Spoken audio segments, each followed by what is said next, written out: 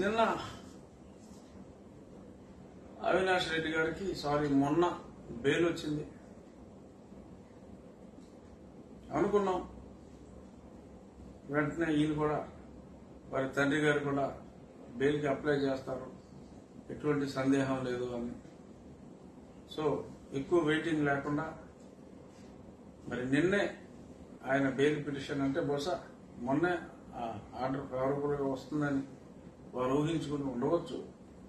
మరి ఆ ఊహతో మరి తక్షణమే మరి రెడీ అయ్యారా? ముందే రెడీ చేసుకున్నారు?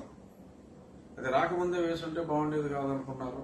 మరి నిన్న వెంటనే ఫైల్ చేయటం. సిబిఐ కోర్టులో మరి ఈరోజు దాని విచారణకి ఉదయాన్నే స్వీకరించడం సిబిఐకి జనరల్గా నేను గతంలో ఆ కోర్టులో జగన్మోహన్ రెడ్డి పేరు క్యాన్సిల్ చేయాలని చెప్పి వేసినప్పుడు ఒక్కొక్కటి ఒక వారం రోజులు అలా వాయిదా పడింది. చాలా టైం పట్టింది. కోర్స్ కొట్టేశారనుకోండి ఫైనల్గా. తీర్పు కూడా ముందే సాక్షిలో కూడా వచ్చిన తర్వాత అక్కడ తీర్పు వచ్చింది. కానీ మరి ఇక్కడ నిన్న ఫైల్ అవటం ఇవాళ వినటం సిబిఐకి నోటీస్ ఇచ్చి ఇమీడియట్గా సోమవారం నాటే మళ్ళీ విచారణ ఇవ్వటం జరిగింది. ఇక బెయిల్ వస్తుందని మనం భావిద్దాం. ఎందుకంటే మరి ఎప్పుడైనా ఒక హైకోర్టు ఆర్డర్ని అన్లెస్ దాన్ని సుప్రీంకోర్టు స్టే ఇవ్వటం కొట్టివేయటము జరిగితే తప్ప లోవర్ కోర్ట్స్ ఎప్పుడు అంటే సబార్డినేట్ కోర్ట్స్ అవ్వచ్చు లేదంటే ఆ magistrate district magistrate courts CBI district magistrate court వాళ్ళు ఎప్పుడు హైకోర్టు తీర్పుని పలానా కేసులో ఇలా వచ్చిందండి మొన్నే వచ్చిందండి అని చెప్పి చెప్తారు. రేపు సోమవారం నాడు. అదే ఉమామహేశ్వరరావు కూడా ఇక్కడ ఆర్గ్యూ చేయొచ్చు. ఎందుకంటే ఆయన ఎక్కువ సిబిఐ కోర్ట్స్లో ఆర్గ్యూ చేస్తారు వెరీ సీనియర్ న్యాయవాది ఆయన. సో అక్కడ ఏదైతే చెప్పారో మరి అదే ఇక్కడ ఎందుకంటే మనం అనుకున్నాం నిన్న తీర్పు గురించి మాట్లాడుకున్నాం. ట్రయల్ కోర్టులో మాట్లాడినట్టు హైకోర్టులో జనరల్గా యాంటిసిపేటరీ బెయిల్కి అంత వాదనలు ఉండవు. మీడియాలో ఏమొచ్చిందన్న దాన్ని కూడా కన్సిడర్ చేస్తూ మరీ ఇచ్చారని చెప్పి మాట్లాడారు. అసలు మీడియాలో వచ్చిందని కన్సిడర్ చేయకూడదు. సో కానీ అందులో ఏదైతే మరి సవ్యపరంగా ముప్పై పేజీల ఆర్డర్లో నేను ఆర్డర్ గురించి మాట్లాడుతున్నాను ఇంకెవరి గురించి వచ్చిందో? మరి అదే వివరణ. మరి ఇప్పుడు అదే ప్రామాణికం అని అనుకుంటే డెఫినెట్గా సోమవారం నాడు వస్తుందా? లేదు మరి అక్కడ విన్నట్టే ఇక్కడ కూడా రెండు మూడు రోజులు వింటే రెండు మూడు రోజులు ఆలస్యం అవుతుందా? అని తప్ప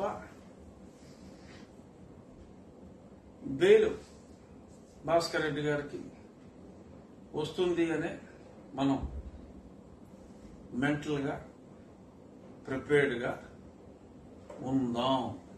ఏంట్రా బాబు? ఎప్పుడూ ఎప్పుడు ఆశాభావంగా మాట్లాడతాడు?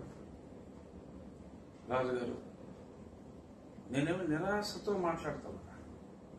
బట్ నాకు అనిపించింది ఎప్పుడైనా సరే లోవర్ కోర్ట్స్ ఒక హైకోర్టు ఆర్డర్ని ఫాలో అవ్వటం ఒక నానుడి కాబట్టి. అది సుప్రీంకోర్టుకి బహుశా వచ్చేవారు వెళ్తారో వెళ్ళరు తెలీదు. ఎందుకంటే కోర్టుకు వెళ్ళాలి అంటే కూడా అన్ని చూసుకుని వెళ్ళాల్సిన పరిస్థితి. సో కాబట్టి మరి కోర్టుకు వెళ్తారా? వెళ్ళరా?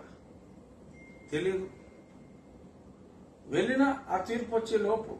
ఎందుకంటే ఆ తీర్పు కొట్టేస్తే హై- సుప్రీంకోర్టులో నా ఉద్దేశంలో సుప్రీంకోర్టు కంటూ వెళితే దీన్ని పక్కన పెడతారనేది తీర్పు పక్కన పెడతారనేది నా విశ్వాసం. ఎందుకంటే ఎంతో మంది న్యాయకోవిదులతో నేను మాట్లాడాను కాబట్టి వారందరి అభిప్రాయం కూడా మోరల్లెస్ అదే. కానీ ఆ తీర్పు వచ్చే లోపే ఇక్కడ వైఎస్ భాస్కర్ రెడ్డి గారికి బహుశా బెయిల్ వచ్చేస్తుంది. ఏమి అనుమాన పడక్కర్లా నాడు నేడు కార్యక్రమంలో భాగంగా మరి నాడంటే ఎప్పుడో కాదు. మొన్న కుమారుడికి.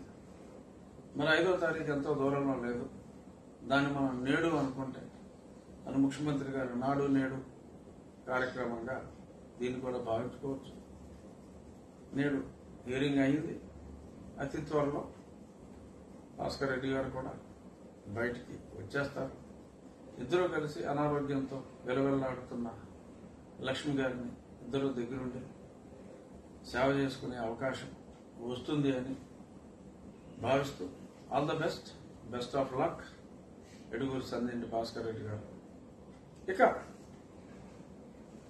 చాలా మంది ఈ రెండు మూడు రోజుల్లో మాకు విదేశాల నుంచి కూడా ఎంతో మంది ఫోన్ చేసి విపరీతంగా బాధపడ్డారు.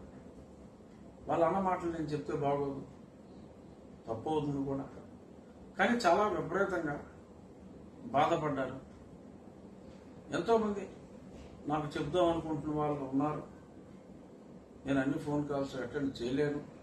కాబట్టి మీడియా ముఖంగా నేను చెప్పాలనుకున్నది ఏంటంటే దయచేసి నిరుత్సాహపడద్దు టైం బాగలేదు ప్రస్తుతం.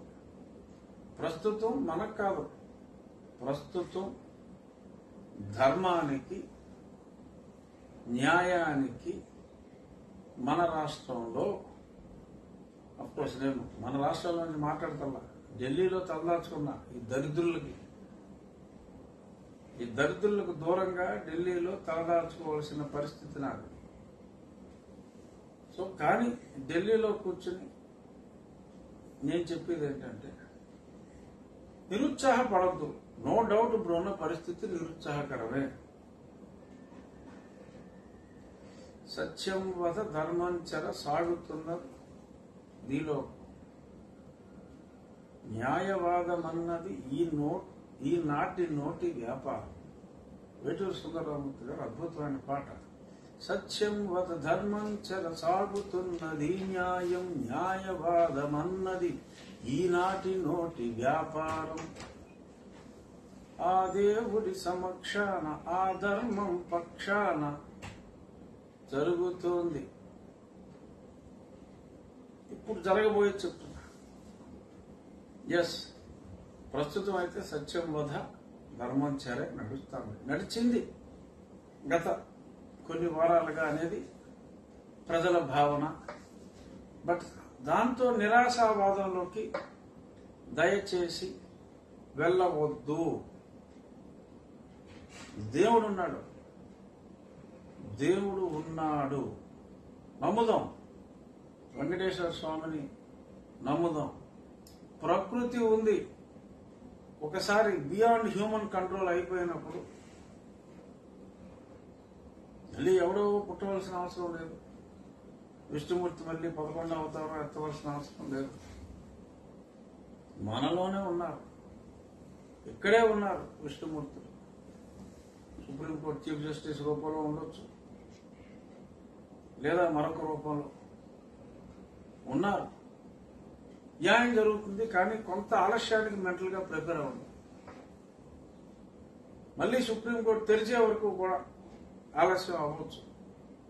అయినా నష్టం లేదు. అయినా నష్టం లేదు. నా ప్రార్థన నేరస్తులు గాని దుర్మార్గులు గాని ఏ చరిత్ర అయినా తీసుకోండి. కలకాలం రావణుడు లేడు కల కలకాలం నరకాసురుడు లేడు. ఏ అసురుడు లేడు. ఈ అసురులు కలకాలం ఉంటారు. వీళ్ళ దుర్మార్గాలు ఇలాగే ఉంటాయి. మనం బతకగలవా అసలు రాష్ట్రంలో కాలు పెట్టగలవా మళ్ళీ అని చెప్పి ఎన్ఆర్ఐకి ఫోన్ చేస్తున్నారు. ఎంతో మంది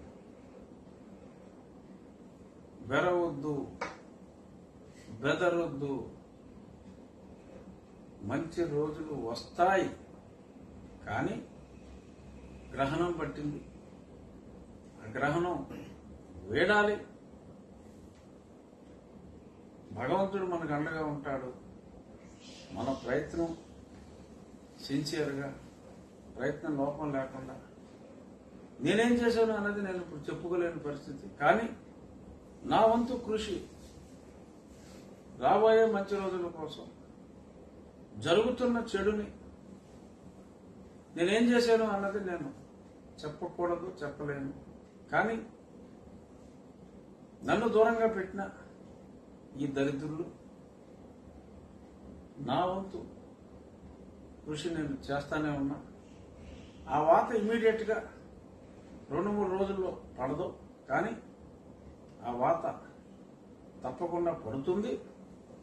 కానీ డోంట్ ఎక్స్పెక్ట్ ఇమ్మీడియట్ రిజల్ట్స్ కొంచెం టైం పడుతుంది. ఇదేమి అలోపతి వైద్యం కాదు. నేను ప్రస్తుతం చేస్తున్నది ఆయుర్వేద వైద్యం. టైం పడుతుంది. కొంచెం టైం పడుతుంది. కానీ తప్పకుండా పనిచేస్తుంది. సో కాబట్టి దయచేసి నిరుత్సాహం వద్దు. రేపు ఐదు కావచ్చు లేదంటే ఏడు కావచ్చు భాస్కర్ రెడ్డి గారి బెయిల్ వచ్చేస్తుంది. దానికి ఫిక్స్ అయిపోదాం మనం. ఇప్పుడే ఫిక్స్ అయిపోతే మనకు అప్పుడు డిప్రెషన్ ఉండదు. సో కాబట్టి దానికి మనం ఇప్పుడు ఫిక్స్ అయిపోదాం. కానీ జూలై రెండు తర్వాత జూన్ అంతా సుప్రీంకోర్టుకి సెలవు. ఈలోపు సిబిఐ వెళ్తుందని నాకేం నమ్మకం లేదు. బట్ జూలై తర్వాత. డెఫినెట్గా మంచి రోజులు వస్తాయి. చూద్దాం.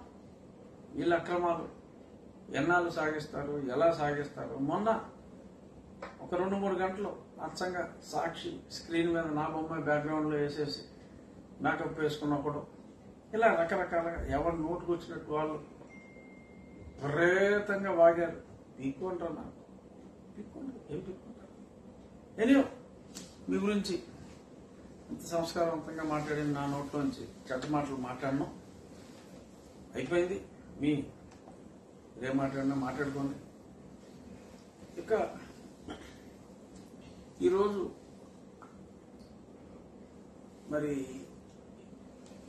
ఇంకా మనం స్పెసిఫిక్గా తెలంగాణ